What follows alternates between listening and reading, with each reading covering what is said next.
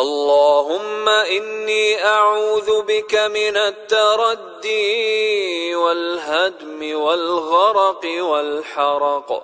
وأعوذ بك أن يتخبطني الشيطان عند الموت وأعوذ بك أن أموت في سبيلك مدبرا وأعوذ بك أن أموت لديغا